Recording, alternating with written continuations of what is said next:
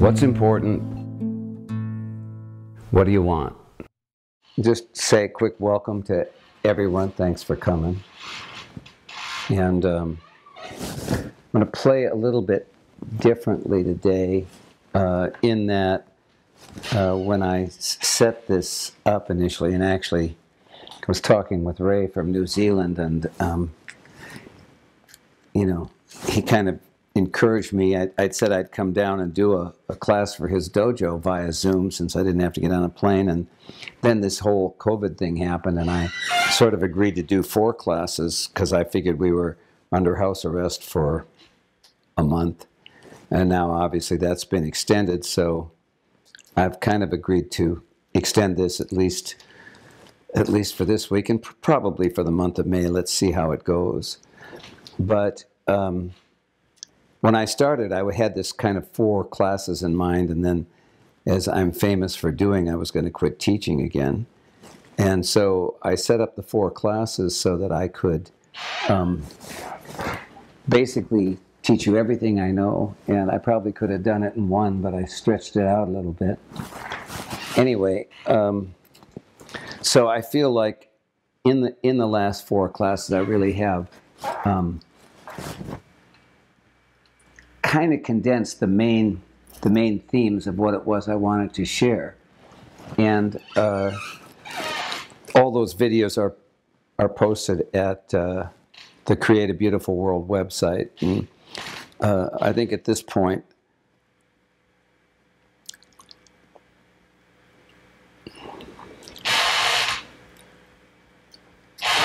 At this point, anyway, you can go back and review any of that stuff that you want to. Thank you. There are also notes on um, the teachings that are there available um, that I posted to the website. And uh, I'm always available if you have any thoughts or questions or you couldn't find it or whatever. And uh, so, kind of with that in mind, that the basics that I touched on were to cover the things that I thought were most important. I'd kind of like to go back and go over a couple of the fundamentals, and then and then explore with you. Um, I had actually asked that uh, when the invitation went out, it went out with a request that all of you uh, consider what was it that you learned in the sessions that we've spent together. I also asked in that set of questions. Um, was there anything that you learned that you didn't expect? Was there anything that surprised you in the learnings? And then the third question I had asked was um, Is there anything you wanted to learn that you didn't get or you expected to get and, and we didn't touch on? And uh, I had hoped to get that put out and, uh, and get emails from everyone. But I'm, I'm going to move into a little more dialogic frame. So let me first off say what I always want to say to you if you know the world ends at the, this moment or the aliens come and take me listen to the impulse to breathe I can't give you a more fundamental, a more accessible, a more powerful, a more consistent practice. Listening to the impulse to breathe and I think you can immediately feel, as Bob calls it, it's a travel vehicle. It starts to shift the dimension of your awareness, the quality of your awareness, the quality of your presence, the quality of your being. And immediately, I, I to use Bob's terms, you're in a different dimension. Now, if that works for everyone, great. If not, uh, give me a different word. Please feel free to, to help me with that. And if it's not working for you in terms of you actually feeling a difference in the state of awareness, then please feel free to stop me and let's make sure that we get here because to me, this is the basics of our work. And it's what I want to come back to you with when I've asked also in every class what's important and what is it that you want. And I'm hoping to talk a little bit more about that. The one more thing I'll say before I want to jump into some exercises, uh, some activity together I want to play with uh, other travel vehicles, as Bob calls them, or other ways that we shift our dimension or our state of awareness. Uh, And to me, my focus has always been in what I call the awareness arts. And I came into Aikido out of yoga, both of which I studied because I knew they would help me in terms of my music. And I've always been kind of um, uh, a little bit in the closet as a dancer. I, have always been very interested in the kinesthetic arts and the free form expression, both in music and dance. And uh, I also did a lot in improv theater. So I hope you're still with listening to the impulse to breathe. And that doesn't mean just noticing it, although that's a good start. It means listening to it. And I, my little joke about that is, you know, the difference between noticing it and listening to it, or hearing it and listening to it, is there were a lot of things my parents said to me as a kid, and I heard them, but I just didn't listen. Okay? So if you're listening to the impulse to breathe, then the next travel vehicle or dimensional shift is seeking the source of the impulse to breathe. And allow me to say, I don't mean thinking about where it comes from. I mean, as you're feeling that, listening to and blending the known self with that, what shall we call it, deeper or larger aspect or finer sense of yourself. If you feel into the origin. Where does that feeling come? Where is that feeling coming from in you to begin with? And then, as Mike pointed out last week, or as we had in our conversation, you know, uh, really what I said is if I ask you to take a breath and you do it, everybody take a deep breath and exhale, everybody knows that's you breathing. Then I tell you, if you don't do anything, after a while, you'll notice that you're still breathing. Now, which you am I talking to? Or which you are you identifying as. And this blending of the two by listening with the conscious self to that universal connection. And I literally think of it as your spirit, and that's where the word inspiration comes from in terms of breathing. If you're doing that work, we should be experiencing a shift. If your intention is to seek the source or the origin of that impulse to breathe, we should be shifting again. And I would pause for just a moment here for anyone to stop me if you're not with me, if I'm losing you, if you want to challenge what I'm saying. The other thing that I've stressed every time we've been together is don't take anything on my authority. I'm going to share some things with you that have been of value to me. But if they don't harmonize with what your inner teacher says, or what I call your direct connection with the Aikikami.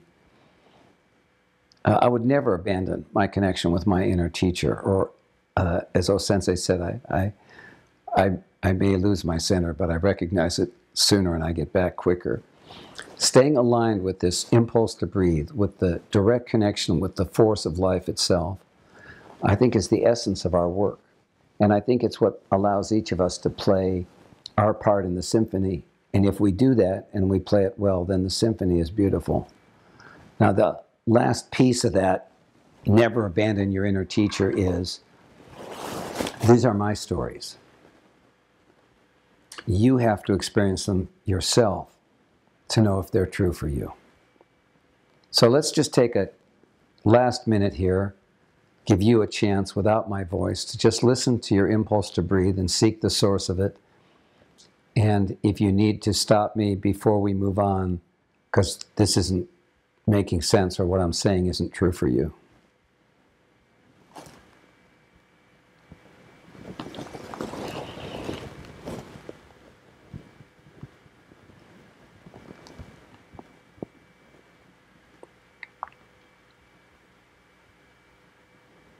And I'm assuming that everyone is feeling this travel vehicle have its effect, this shift in dimensional awareness, or that, if I put it really simply, you feel a little bit different. Okay? I can't emphasize enough to you how important I think it is that you stay with this more than anything I'm going to say to you, more than anything else we're going to do. If you're staying in this connection, I'm talking to the you that I think can hear me. And not really me, but the me that I wish I was sharing. All right? I'm going to go into motion now. Um, I'd like to do some exercises. I'm going to go stand up. I would certainly invite you to do the same. Uh, but these can be done to a large degree sitting, so however you're most comfortable. And I will do my best to remind you to come back to the impulse to breathe, but um, you know, like I have a, a thing, take it a little easy here. It says, you know, minus 10%, because uh, I tend to be a little intense. And you may want to put a sign up that reminds you to breathe or breathe consciously or connect to that force. All right? So, standing or sitting, let's do a short moment of what we would call standing meditation. And if you're sitting, that's fine too.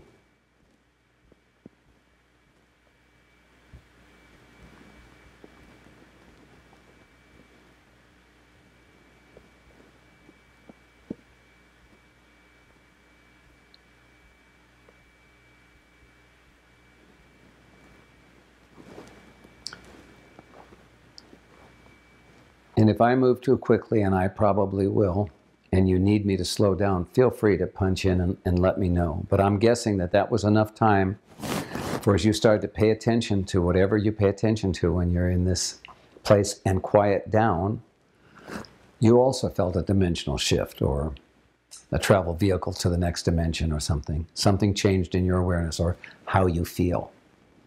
Okay? So all these tricks of the trade are ways to get us into something that's a little different than where we were. And I would venture to guess that you share my experience as I do this. My level of, here's a funny word here, presence increases. My capability of being aware of what's going on in the moment. Bob talked yesterday a lot about uh, the people who thought they could attack O Sensei and stuff, and and uh, he would you know feel that. And I always thought that the reason I was training was not because I ever thought I was going to put a Nikkyo on a 300 pound guy, but because I thought I was going to be able to leave the bar before he knew he wanted to hit me. And much more important than that, that I'm listening to. I talked to a friend yesterday. Um, he called it listening to life. I like that because uh, I tend to call it listening to the Aiki Kami, but I'm afraid that puts us into some mystical zone for some people, and I don't mean to do that. All right, so I'm going to now ask you to enliven your, and I'll do opposite, so because I'm thinking I'm mirrored to you, but enliven your right side a little bit. Just feel it, extra sensory acuity, whatever it is. You might even want to wave your arm a little bit or move it or something wiggle the leg a little bit. Just really enliven your right side. Stay with the breath because that will help you dimensionally hit a finer level of perceiving what I'm talking about and what you yourself are experiencing. Okay, let's play with the left side, enlivening the left side, the leg, the arm, really the torso. Even you can play into the half of the head, as it were. And feeling that, heightening your sensory acuity, paying more attention to it.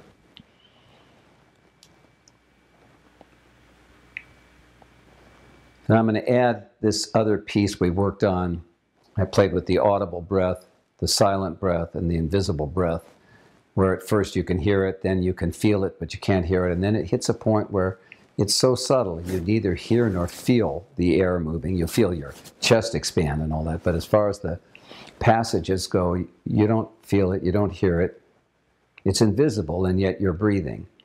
When you start to hit that level of breath, you'll also start to notice very quickly, and certainly if I point it out to you, that you feel the vitality in your cells. You're actually feeling the oxygen exchange at the cellular level at a much finer dimension.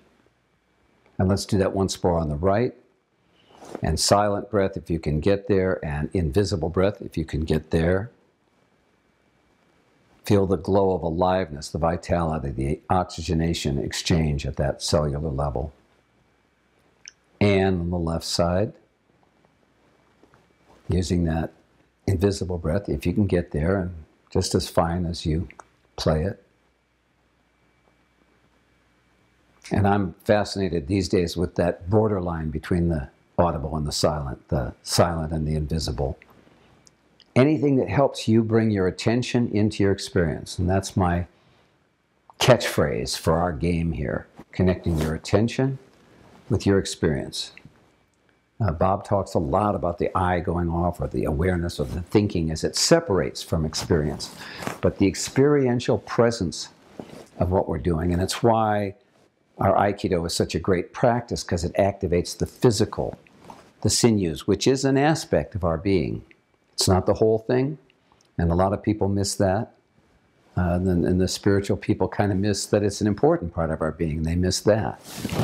It's the combination of the attention with the experience, of the conscious awareness with that spiritual awareness. And I use that word because it causes us to breathe. It's the vitality of life itself. So I'm going to invite you now, last time, right side, just a little extra acuity, if that's the right word, and the left side just a little bit. And I'm going to expand them out a little bit further than they normally go just to increase that sensory awareness. And then I'm going to ask you to start tracing just in feeling, in sensation, in actually almost feels like your imagination, which that's the way it feels to the heavier dimension as you start to move into a finer dimension. Am I imagining this? I want you to imagine coming in in sensory awareness to that place where the two sides meet. Now, those of us in Aikido would immediately call this center or use a term similar to that. But I want you to start now to refine that a little bit. And in the way we polish the edge of a sword until the two sides of the sword, in effect, come together so finely that it, it cuts. And in this case, cuts through our awareness of the two separate parts into a unified field. Stay with the impulse to breathe, connecting with the source or the origin of that impulse, always aligned with your inner teacher. Uh, you can almost ignore my words, sort of, and just play with whatever interests you. And if my words help stimulate that for you, listen to me at that level. And I have put a lot of time in. I hope I can be of some assistance here, but I don't mean to ever say I know. I kind of think, I sort of imagine, I kind of sense, feel. And this is as far as I've gotten, and these are my stories. You have to experience it for yourself to find out what's true for you. So I'm going to give you a little game here to play with, and that's in the center of your torso, around the spine. If you could imagine contracting the muscles that hold the spine. And probably all the muscles in the body may contract a little bit, and that's fine. I'm not worried about that right now. And you'll also find that as you do that, uh, I'll give you my example. You'll, yours may be different, but I think you can use it. Um, my contraction pretty much goes right in the, uh, what do we call it, the lumbar region. And it takes me a little more attention to compress in the thoracic region. And then I have to actually consciously think about to get my cervical region muscles to tighten. I hope you're with me. Stop me if you're not. The impulse to breathe, your connection to your inner teacher, or the divine kami, or however you want to think about it, the universe, the force, and that contraction and releasing it. And again, that contraction and releasing it. And let's really go into the release now. Staying with the breath, releasing the muscles. And now I'm going to describe it this way relaxing the muscles closer and closer to the spine. So we're going right side, left side, coming into the center. We're using the trick, if you want to call it that, or the travel vehicle of contracting the muscles closer and closer to the spine. And again, I want to play with the full length of the spine, so I spend a little extra attention making sure that you don't have to squeeze that hard, just contract the muscles a little bit, and then release and relax the muscles closer and closer to the spine, coming in from the right, coming in from the left. And now I want you to find that very central core of your being. And here's the game I want to play with for just a minute. As you come to where the two sides seemingly come together, or the, the blade edge of the sword, that is your spine or your center line at a finer dimension of energy, that edge of the sword that we use to cut. I'm just playing a game here. It's a little thought experiment. That's all. It's not a big deal. Is that both sides of the sword, or is that neither side of the sword? And watch your, there's a little Zen koan there. Watch your mind play with that for a minute.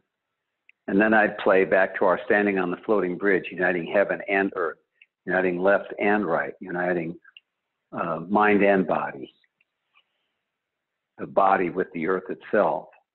Let's say that central line there is both and neither.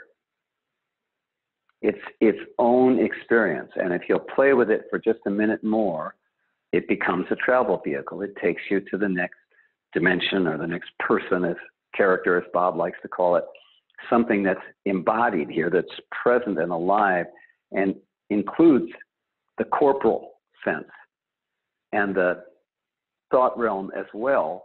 And it's connected through the somatic, the feeling awareness. All right. And let's go into some motion here a little bit.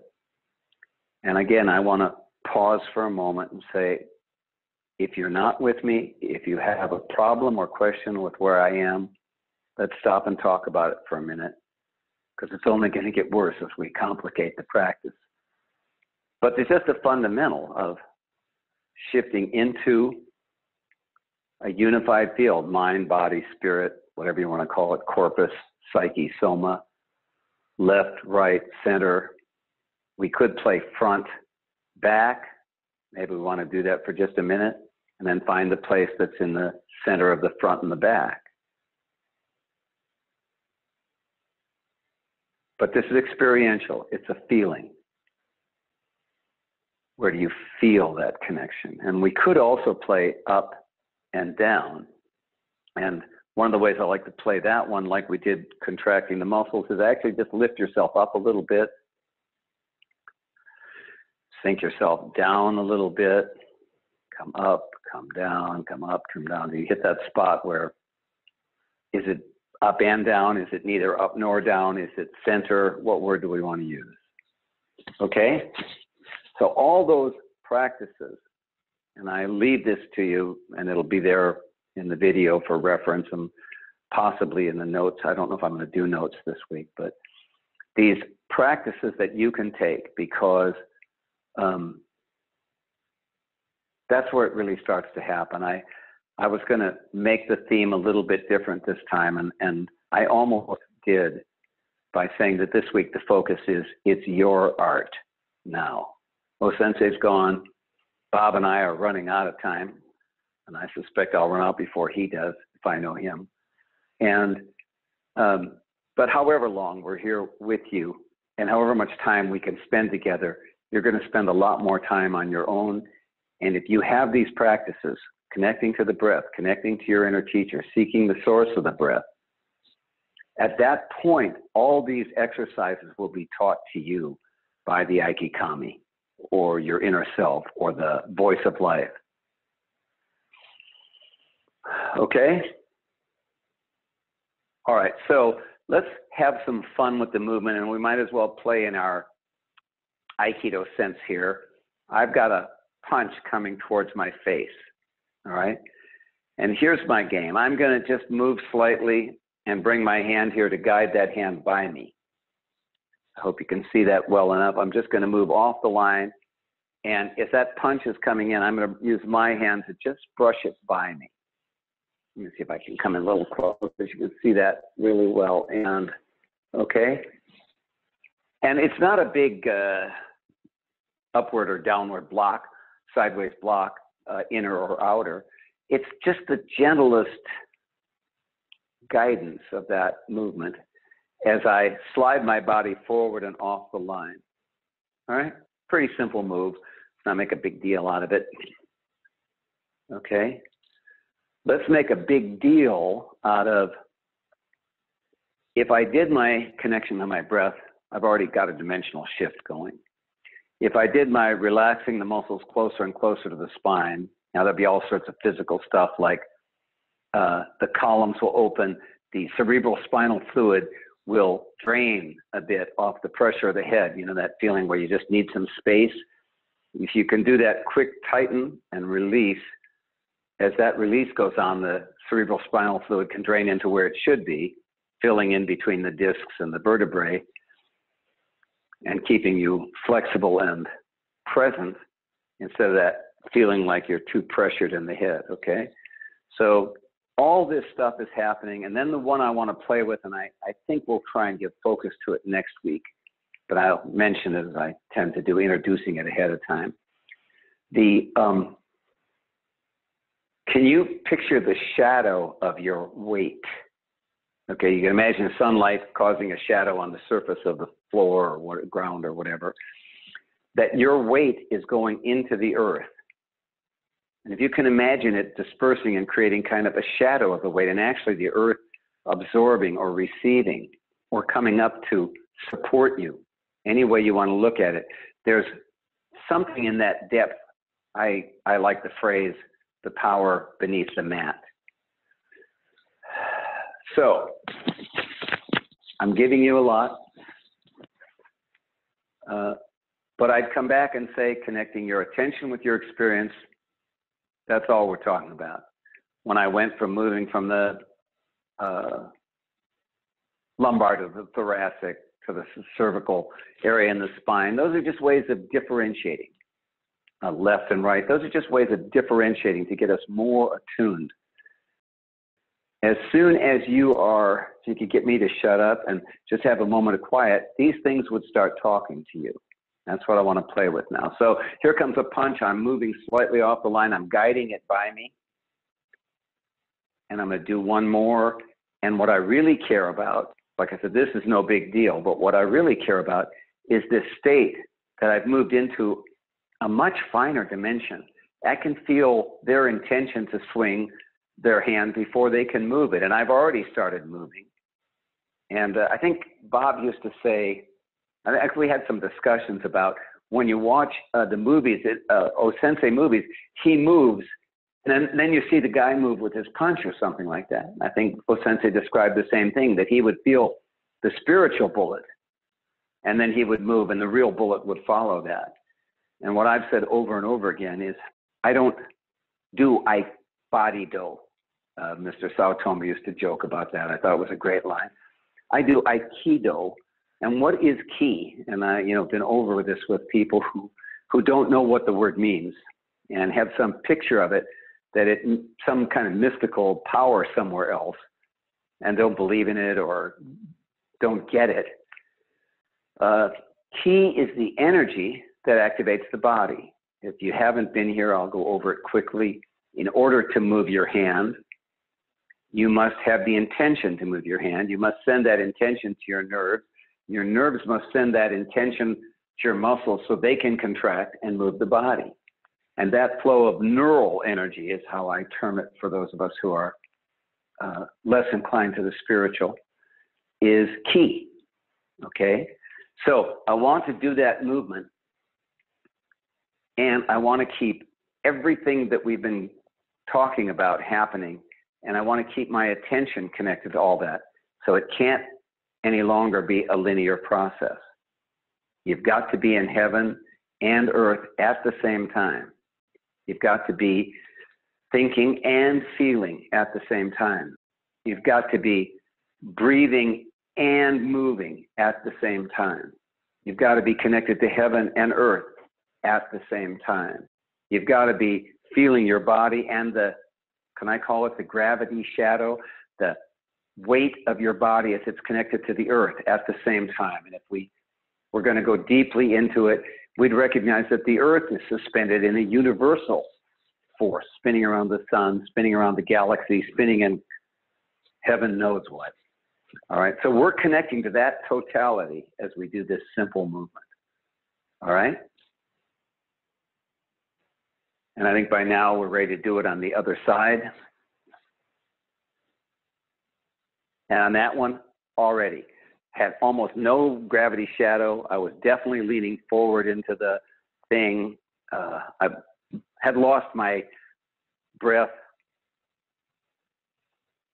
And this one's already markedly better, although not quite as good as the last one on the other side. I hope you're still with me. I hope you'll stop me if you're not.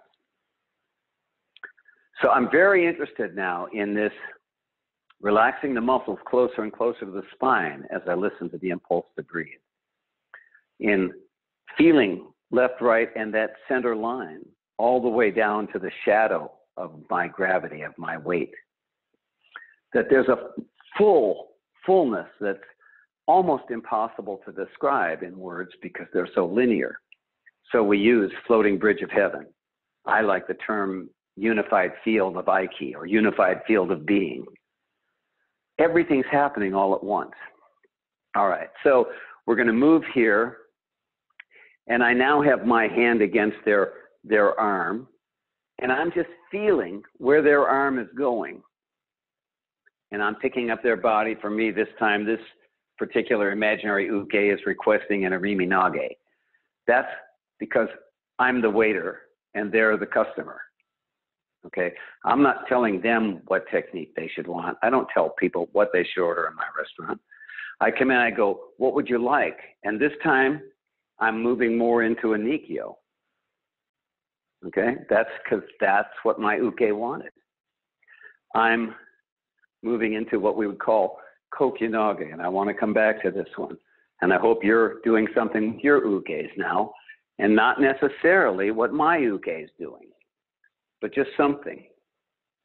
And then what I always have to do, I always resist it at first, is I have to slow myself down because I tend to talk faster than my uke wants to move. I tend to start guessing what my customer would like.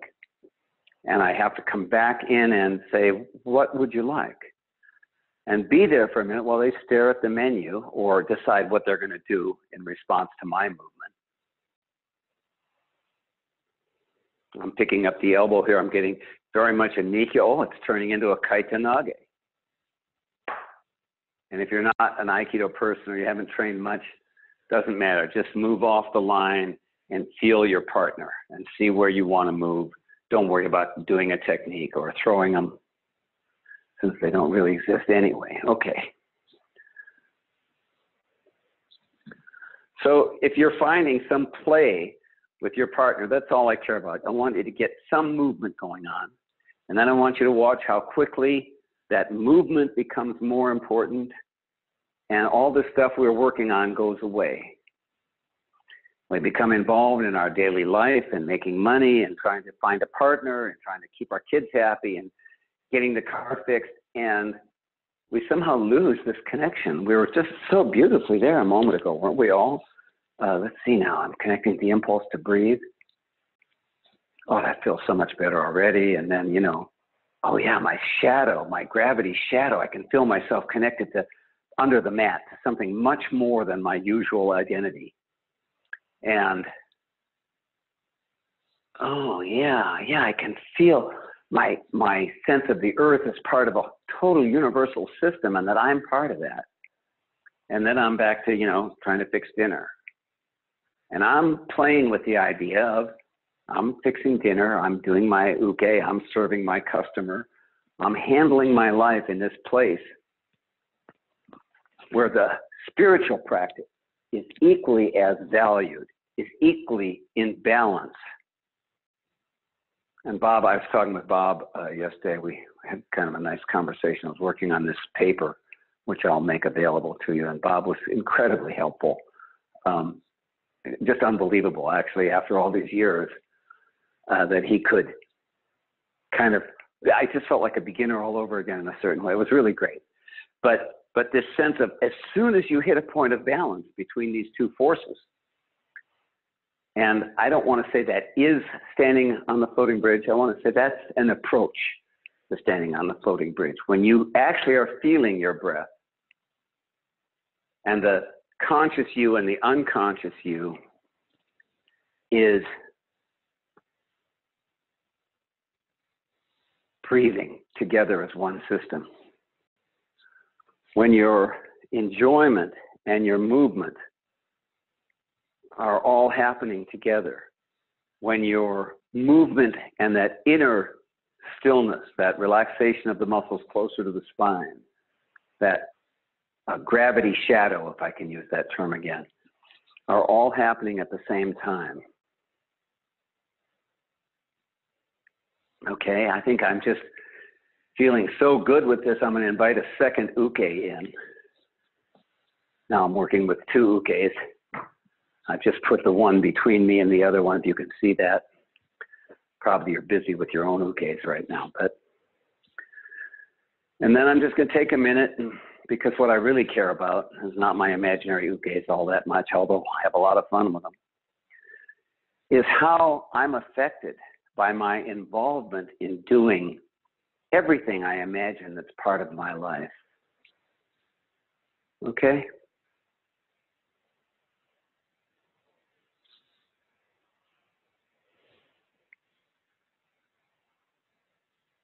So now it's feeling pretty good again. I feel like I'm with my breath. I did lose the spine a little bit or that, that opening in the central core, but I could still feel the shadow of my gravity and my movement all at the same time. There's a what I call stillness and motion in the sense that something doesn't change even though you're doing this. And I'd say if we kept this up long enough, or if we have a lot of time, we might take a, a particular set of movements or something and then increase the speed uh, or the intensity or something like that. But um, I think that's kind of where I wanted to go with it. Let's take a last minute here. Get yourself one really good uke. Just have some fun with them. And stay with your practice, your connection to your inner teacher or the source of breath and the origin of that.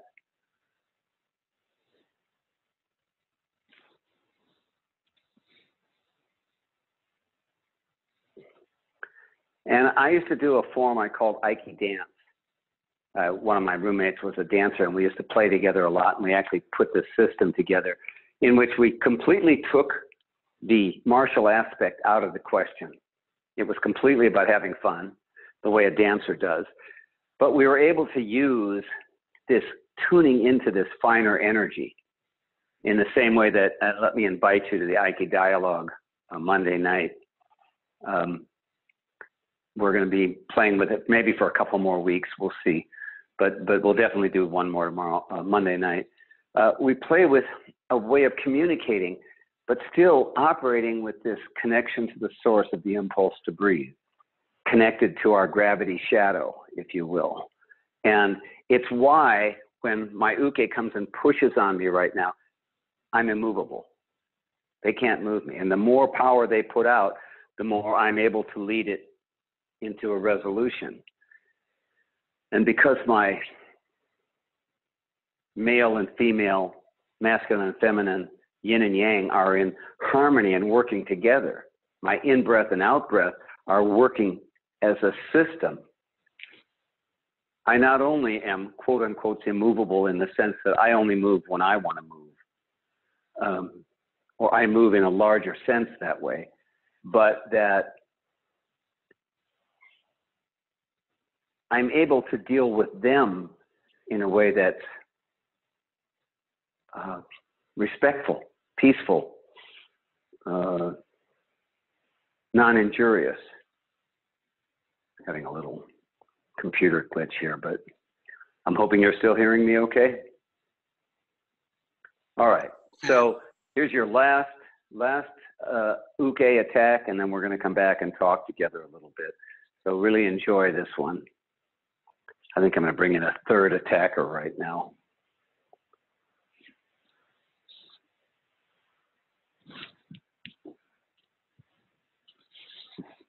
And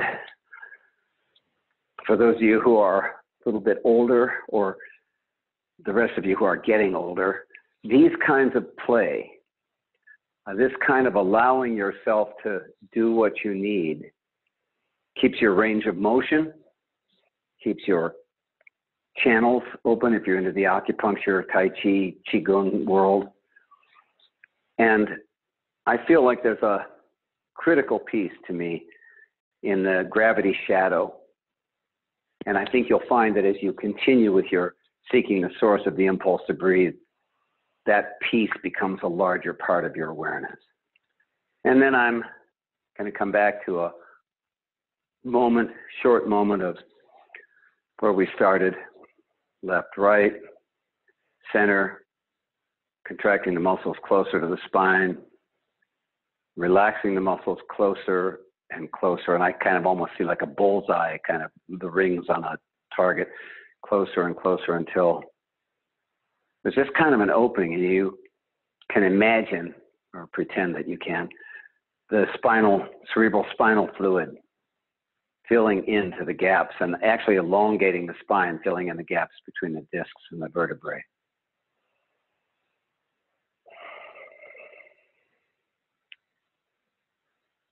And I'm with a pretty good sense of enjoyment here. I hope you're feeling something in that realm, but just a an ease maybe would be a, a simpler word. Kind of a, a calm as I as I start to settle back into this. Now I I feel on some level like we could go on for a long time here. Um, I assuming you're kind of having fun with this, and um, I guess I'd say let's let's do that, but let's let's push it to next week a little bit um, as we're what are we coming up on quarter of, and uh, we can go a little past five and whatever. But I I know we often turn into this point where it becomes um, questions, and uh, and that's fine. I, I have put in my time. I um, studied a lot of arts besides Aikido. I put in endless hours on the mat. I've studied, you know, my arts, music and dance and poetry and whatnot. And um, and I do want to share whatever I can give you to make you more capable of doing Aikido or dance or poetry or cooking, so it's more fun for you. I'm happy to answer your questions, but at the same time, I'd come back to the questions that I asked you in the beginning, which were what's important, what do you want, and in terms of where our study has been for whatever time you've been with me, and I know for some of you that's a lot of years, but but for some of you it's probably just one or two classes. What did you learn? What did you learn that you weren't expecting or that surprised you? And what were you hoping you'd learn, or what didn't you learn that you thought you might, or that you'd like to touch on if we go on for a few more weeks, which it looks likely that we will.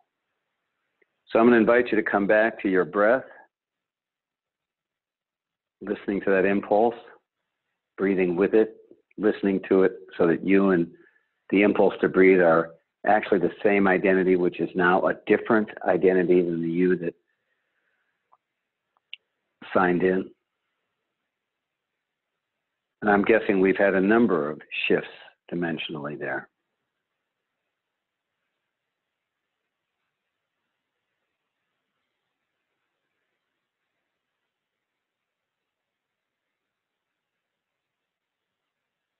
I think I'm going to stop now. I have a couple more places that are kind of knocking, but I think I'd like to hear from you now, if you would be willing. And um, no big deal uh, please keep it as simple as you can because I know we can get into some conversations here that, that would take us hours. But uh, if you can hit the high points for you of what did you learn, what would you like to learn, what surprised you, and again, what is it that you want? What's important to you? Who are you in this thing? And I, I guess I'll say one more phrase here. Studying with all the teachers I studied with was good, good stuff. And going and working with other people is good stuff. You can learn a lot of tricks about how to fix a car, how to cook a meal, how to do an Aikido technique. I'm not trying to discourage any of that. I encourage more of that than probably any of you are going to find time to do. But my voice here with you is very much about make sure there's a time when you go out and sing your song, when you write your own song, when you design your own dance or your own stretching exercise, or you play with the recipe and make it a little more the way it just feels right to you at the moment. So I say, when I cook it, I cook it the way I like it. I'm encouraging you to do that. That's all. I'm not saying don't follow recipes or don't use cookbooks or don't go to other people's classes. So I'm open to any comments that you have. And in the back of my mind, I don't know if you're with us, Lauren, but I am here. I have a question. I have a question for you, which is last week you asked me what's the role of the teacher and hearing everything that we've said today. I'll leave you with that question if and when you'd care to share something. I'd add that question back for you because I, I feel you have a lot to share in those realms as well. Well, uh, Eh, Richard, yeah, thank, please. Thank you for the wonderful class and uh, the invisible uke practice. Um, uh, I am happy to address that question that I asked last week, but first I want to ask you a question, a personal question. Please. Here in front of all 27 participants. You mentioned that you started, you, you were talking in the beginning about how you'd done yoga and how you did Aikido, and that you, you undertook, you took them up both to help you with your music. Hmm So tell us about Aiki music.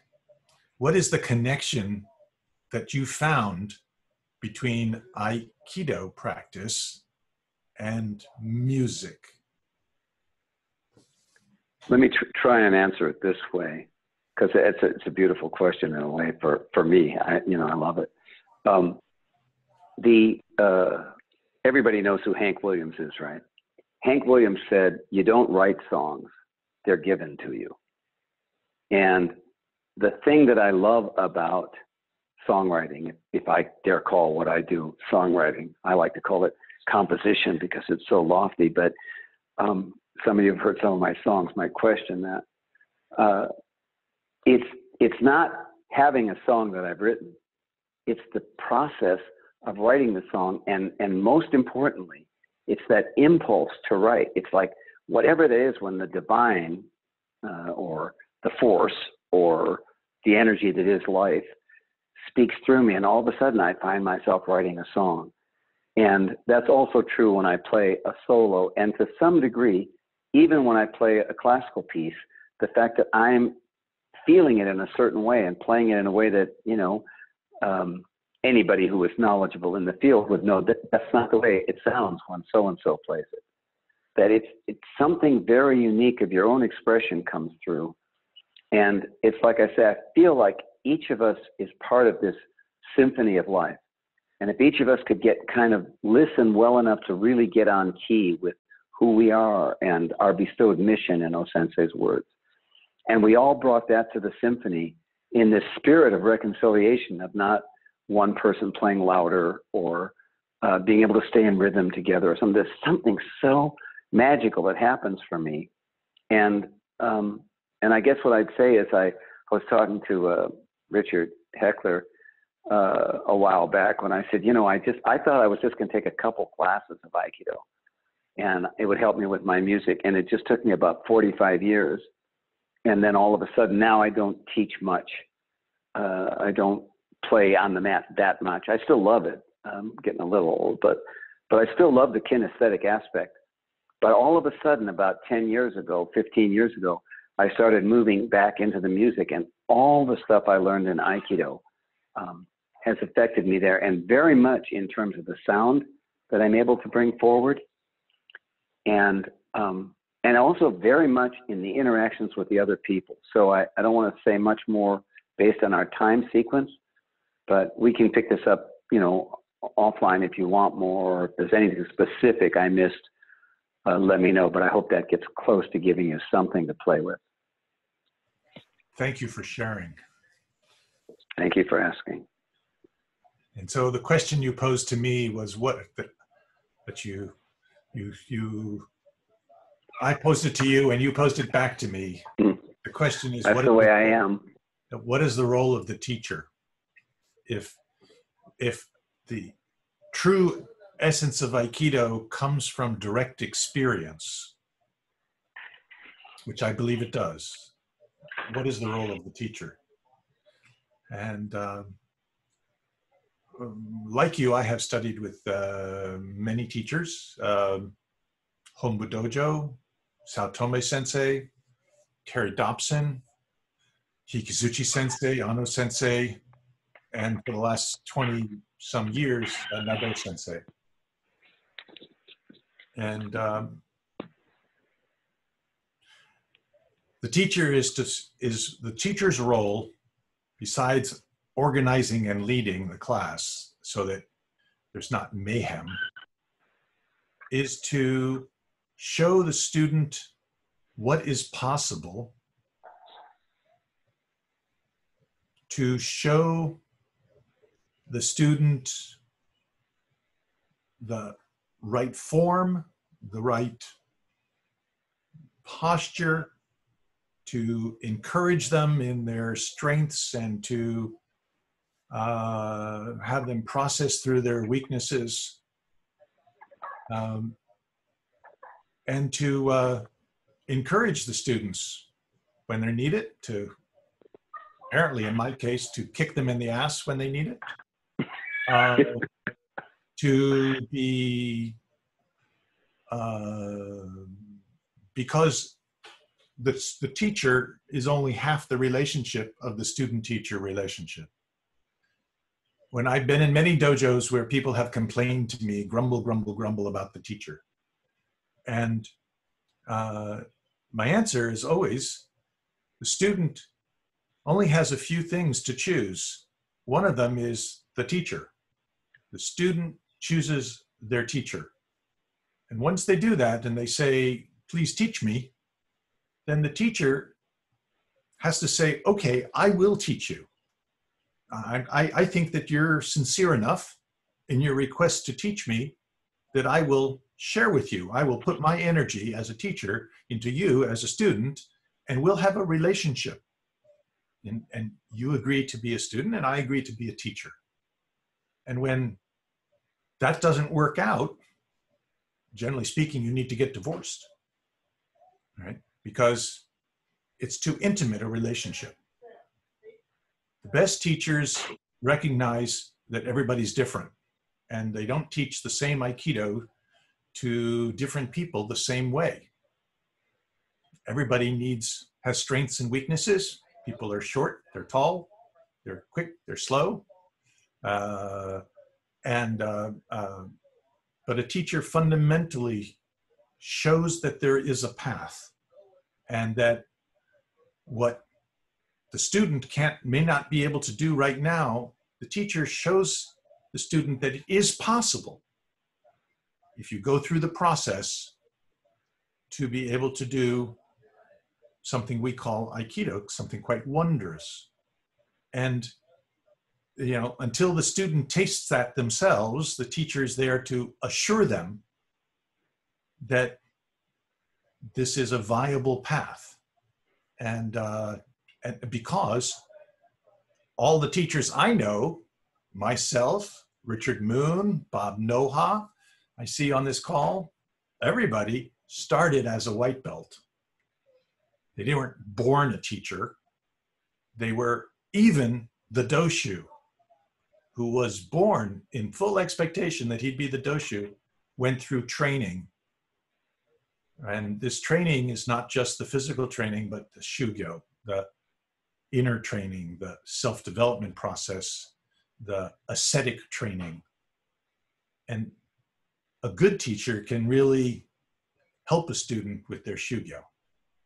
And uh, I know that uh, uh, what you've been showing us today, Richard, is uh, the heart of that. It's the inner process. And uh, so I think that's the role of the teacher and uh, what do you think? Much appreciated. Much appreciated. I, I'm going to want to give a little space to others if indeed you'd like to share something of your experience here or responding to those questions. I did see the question about the role of uke and nage. And to that, I would say, you know, we're not competing like they are in other arts. We're doing something almost completely different. And that uke and nage are both practicing aikido, being centered, being grounded, extending ki, blending, flowing, working in harmony. And the thing that Osensei described was loving attack, peaceful reconciliation. I think what distinguishes the uke and nage's role is that it's incumbent on nage to make it better, to produce a better outcome than what might have happened if the two of us had spoken together and neither one of us took responsibility for that, if we both just argued about who was right. So I'm going to let that one go and say, Lauren, again, thank you. And everyone else who would like to contribute, I'd love to hear anything you'd like to share at this point. We'll go another, whatever, 15, 20, whatever you want. I mean, I'm fine. Since I had a question, um, one is about you mentioned something about gravity shadow. Mm-hmm. I just wanted to hear more about that if I could. Well, as you feel yourself, I'm guessing you're sitting at this point, and your weight is going into the chair, and the chair is being held up by the floor or the ground or whatever. If you can imagine where that weight goes into the earth, if you can feel, and again, it's it's an imaginary sense in a way, and yet I do believe it's actual. If you can feel that weight distribute into the earth, and you feel that connection that you have, you don't float about in empty space. You're always in this sense of gravitational relationship with the larger universe, the earth itself, the earth with the solar system, and so on and so forth. And so I would say, as I did to Lauren last week when he asked his question, play with that. And uh, when you come back next week, tell me what you got.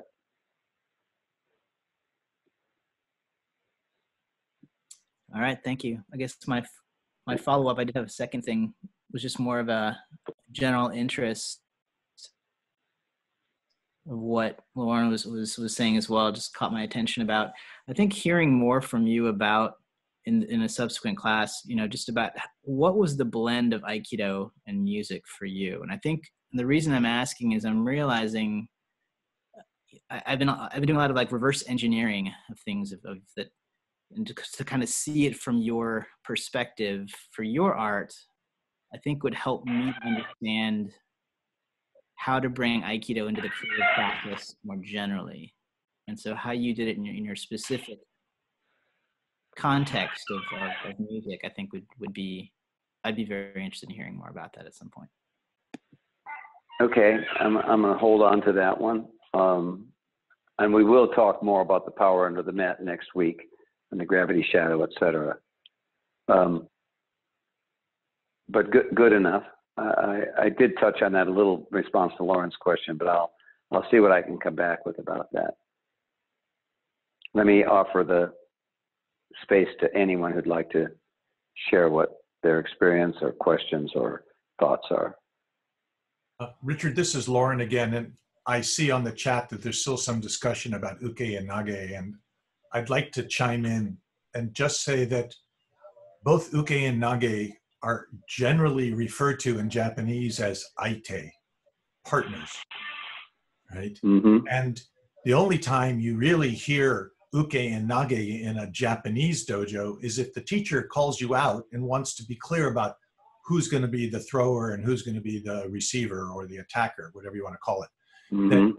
It's not like there's always these two roles.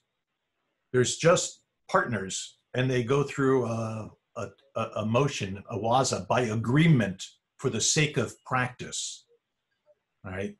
it, it's it's Mhm. is as you have said today in reality much more spontaneous and free form and and uh, uh, with with no forethought just in that moment so it's it's it's an artificial the division between what's the role of uke and what's the role of nage and which is better and which is up and which is down is an artificial division. They're just aite which for Nadeau sensei he calls this relationship right? You're in relationship with your aite with your partner. So i mm-hmm. wanted to contribute that and i hope it helps people. Thank you. Thank you. Thank you very much. Say something. Hi, my name's Dusty. Uh, thank you. I haven't Dusty. done one of these classes. I couldn't help but think of um, George Leonard and the Silent Pulse, uh, who didn't have the privilege of meeting George, but I consider him a teacher. So I pulled the book off my shelf, and the subtitle of his book is "The Perfect Rhythm That Exists Within Each of Us." So I like that listening to the impulse to breathe because it's like coming from this deeper place you talked about the word intention and i like that because that's like freedom there it's flowing Uh-huh. you, it's coming from an in, good intentions so thank you That's beautiful. Thank you for sharing that. Yeah, that's, that's some nice uh, resonance there. Great. I appreciate that. I did know George and uh, trained with him a lot back in the old days.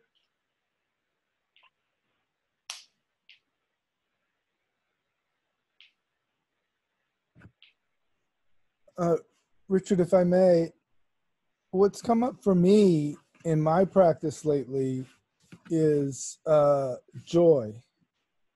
And um, I, in my conversation with my inner teacher, I ask it to lead me with joy, meaning that um, if I am on the right path, I hope to experience joy and that if I should deviate from that path, I would hope to be able to feel that by feeling less joy. And I feel like occasionally uh, my inner teacher has needed a, uh, I say two by four, um, to hit me in wherever. um, and uh, the conversation I try to stay in is okay, yeah, I get that's the wrong path, but I try to keep myself open to a, a simpler, uh, gentler guide than um, I have needed at times. That's Yeah, yeah, no, I, I mean, I think uh, those who've been here have heard me repeat this quote from Osensei that Mr. Hikitsuchi brought back to us.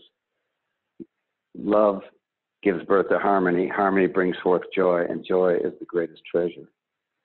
And I think what you're describing here is um, the sense that I was also talking about that we get so caught up in fixing the car, cooking the meal, correcting the kid, whatever, um, that we lose this essential connection that radiates joy. And when that happens, we get mad at everybody around us. I, I love Bob's comment yesterday when he did his little exercise, you know, calling up the energy and and then saying, "Get ready to do 20 sit-ups," and then don't. And he said, people get mad at me because that energy comes up. Learning how to reconcile with that energy, that's been the essence of the art for me because when I'm in that place, I've left the bar before I even realize they want to hit me and long before they realize it.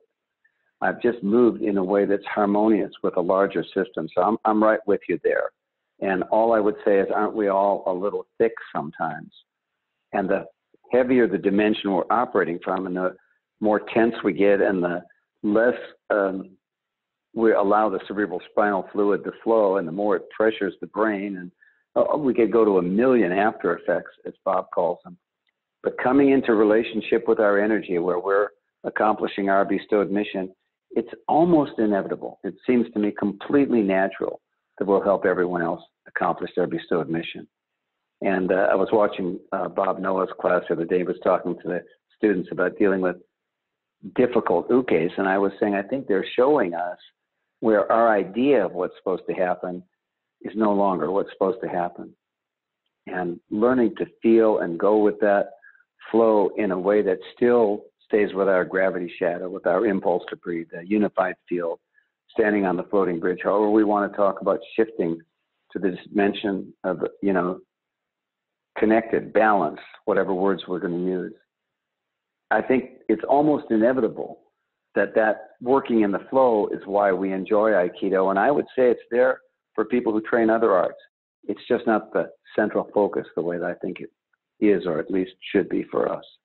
If you've got a comment or two, if there's something you'd like to share, if you want to bring, you know, uh, in my comment, once you're feeling where you are and you're in harmonious relationship, sharing who you are is the essence of Aiki. It's just that a lot of people do it when they aren't feeling where they are and when they're out of harmony with the situation. And then it's definitely something else. So please, if there's something left, let's spend a minute with it. And if we're done, we can wrap it up. Hi, Richard, Joanna. Uh, Hi, Joanna. for today's practice. It was very deep and very, very gentle, um, very special. And uh, while I was moving, I with my imaginary partners, I almost felt that I was in, in the middle of a jiyu waza. It was very good, and then a lot of movement.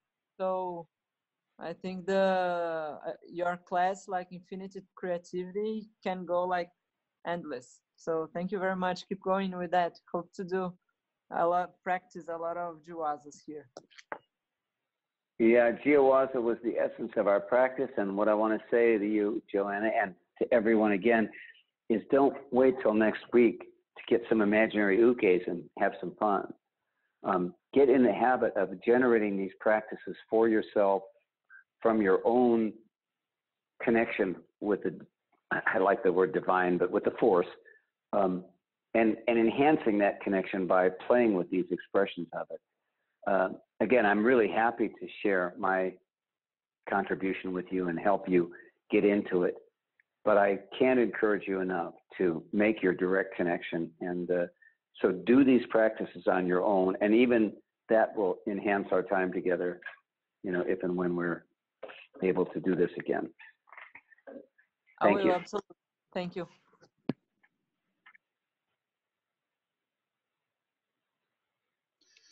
Hi, Richard. It's Mike from New Zealand. Uh, first, just like to say, great class. Thank you very much.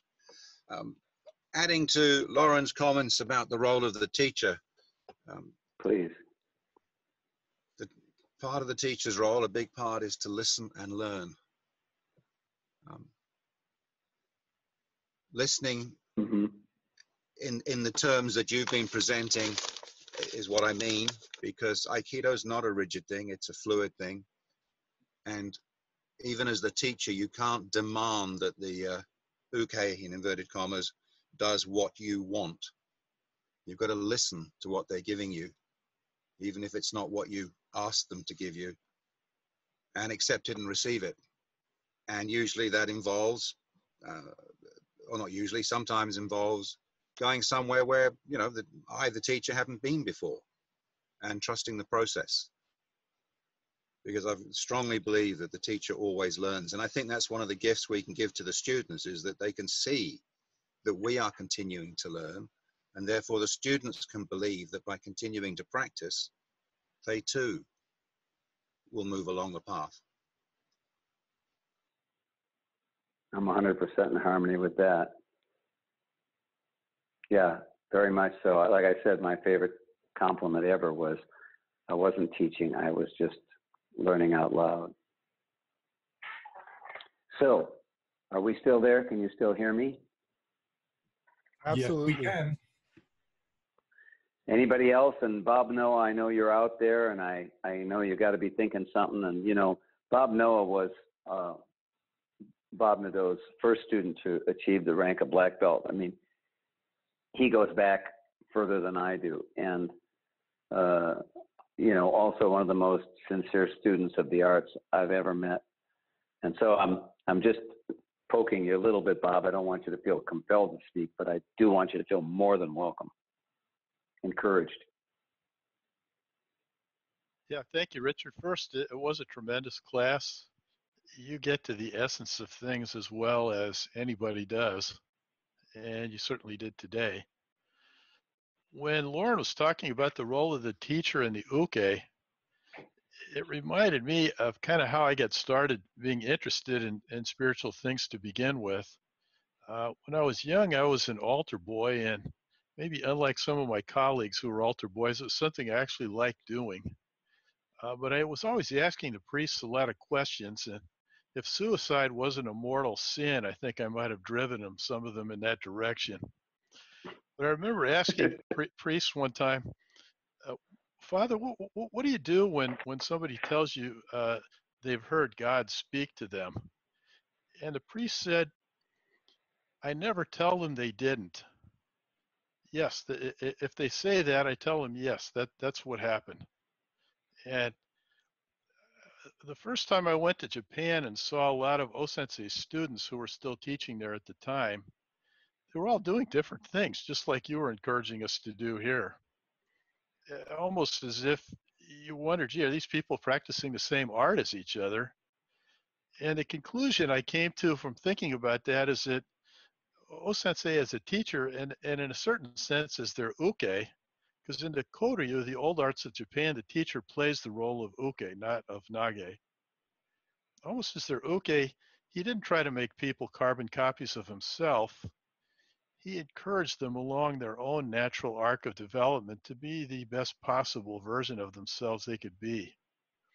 And I think that's a lot of what the role of the teacher is. I love that. So thank you that. for encouraging that. Thank you for being here. Great to see you always. And this is Lauren again. If I can respond to Bob, I was Please. I was always noticed that every great teacher was different from O Sensei, but consistent with O Sensei. That if those of us who remember him, Terry Dobson's Aikido and Robert Nadeau's Aikido, their style, their how they express it, the their favorite techniques and how they play them, you know, or Saotome Sensei or Hikitsuchi Sensei, they're so different from each other, and yet internally completely consistent because they all did have the same teacher for that inner lesson that, that inspired them to become teachers, I found. But what they emphasized, how they played it, was really individual to them. And and O Sensei changed over time. wasn't like one O Sensei. That uh, the thing that uh, that people heard from him seems to be different depending upon who was listening. Mm-hmm. Mm-hmm. Well, I'm I'm back to my theme here for all of you, and again, all due respect for everyone I've trained with, respect for everyone all of you have trained with. It's your art now. Last couple, and then we'll wrap it up. Hi, Richard. If there is anything, please. Yeah, um, it's really fun, however distant, but still really immediate. I've been I've been really playing with. It's been my theme for years. How is it that Aikido really um, manifests in my real life, in my life as I am at a board of directors meeting, as I'm with a client, uh, as I'm teaching students at the university, how is it that my Aikido plays out? And I've been really intrigued by the Uke Nage type of dynamic. If I'm Professor Catherine, does that automatically make me instructor or does it make me okay? And as I respond, I love the comment. Um, if you are serving as uke, does you does that mean you are acting as nage? I think that's a lovely, almost koan. Uh, so so playing with how aikido is real when I'm not on the mat, or playing with my energy, or as we were doing today, playing with our imaginary uke or ukes. Um, that's that's what I'm I'm sorting through nowadays as I'm playing with Aikido, and I'm complete. Thank you. Well, like I said, I was talking to have a class uh, following that there's some event going on that this guy Bo has put together, and I was saying to him, you know, none of us are going to get into sword fights, but we practice a little bit with the sword. What are we really studying here? And I would say, for most of you, I'll bet you've never used an Aikido technique off the mat. And for those of you who don't know, the only time I've ever done it was to wake my brother up from a coma. I've never had to actually apply a technique. I've been in a few physical situations where I've used my centering and my grounding and my positive energy, but I've never never gotten into a fight. And um, so, what is it that we're really studying? And I think as we look into that question, I don't expect anyone to answer that tonight. We'll go into that more next week.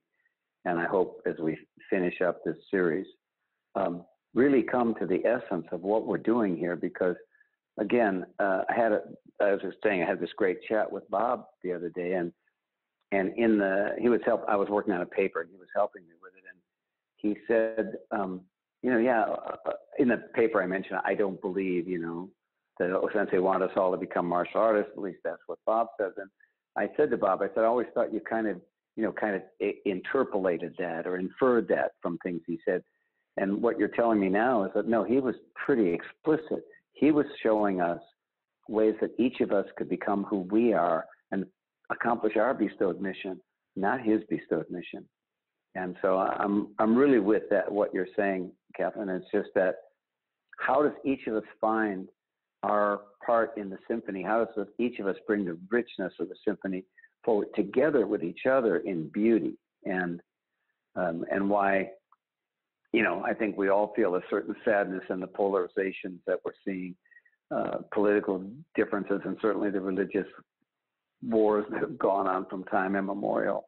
And it's why I believe that uh, forget Nikyo, although it's a fun way to practice the art.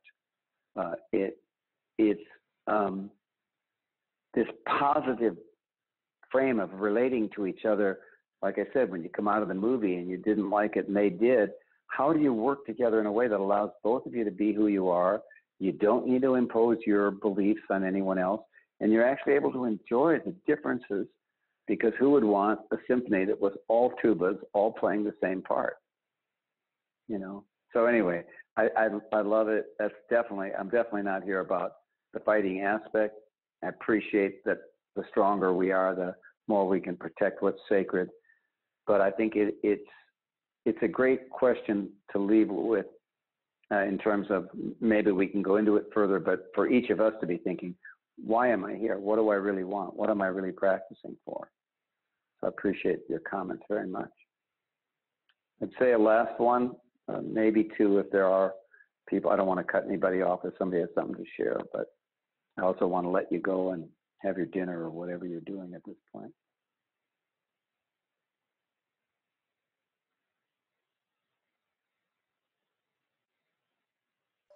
Uh, Richard, I just want to read you uh, what one of the students uh, wrote that they used Aikido. That they used Aikido once in a bar. Someone tried to grab my sister's arm. I used it again to roll safely onto a highway after falling off a wall. Thank you for today's class. I needed to hear everyone's questions and answers. Grateful acceptance and gratitude. I, I really appreciate that. I uh, also use a skateboard and uh, I use my Aikido roll in that sense. I had a couple falls recently uh, coming down from my studio and one off the ladder up here in the studio. And both times I use my Aikido roll. So I, I totally relate to using it off the mat in that way. Um, and my only story in the bar was after my brother was uh, in an accident and he was in a coma for a few, I think about four weeks. I, on a, listening to the whisperings of the Aikikami, uh, and this story's been written up and a lot of you have heard it, so I'll try and go quickly. But uh, I just went back and I ended up tuning into the energy. I put a Nikyo on him and woke him up from the coma. And then I went back and did some rehab with him using martial arts and whatnot as ways to help him get back. And when he was semi-functional, he wanted to go out and see Mike Murphy, fantastic piano player, at the Triangle Bar or something like that. And in it, there was a guy who was just having some serious problems and started to dump him on my brother Billy. And I saw it going on. I just could feel the vibe. And I just inserted myself between them and just centered and grounded. The guy kept bouncing off me, trying to get me to spark. And I just stood there and protected Billy. And but I didn't have to do anything more than that. And when he realized he couldn't get me to fight, I describe it this way: the half of him that knew he shouldn't be doing it, and the all of me that knew he shouldn't be doing it, defeated the half of him that was losing control, and he stomped out of the bar. And you know, so that was my favorite story of you know my martial arts thing because I I thought you know I certainly didn't want to wake up in the hospital or not wake up, and I certainly didn't want to be sitting there at two in the morning explaining to the police why I'd killed this expletive deleted asshole. And it just Aikido was beautiful. I've had a few other instances like that where I've been able to neutralize potentially dangerous situations, but I've never actually had to crank a Nikkyo on anyone except to wake my brother up. So I can feel there's one more person who wants to speak right now. Am I imagining it?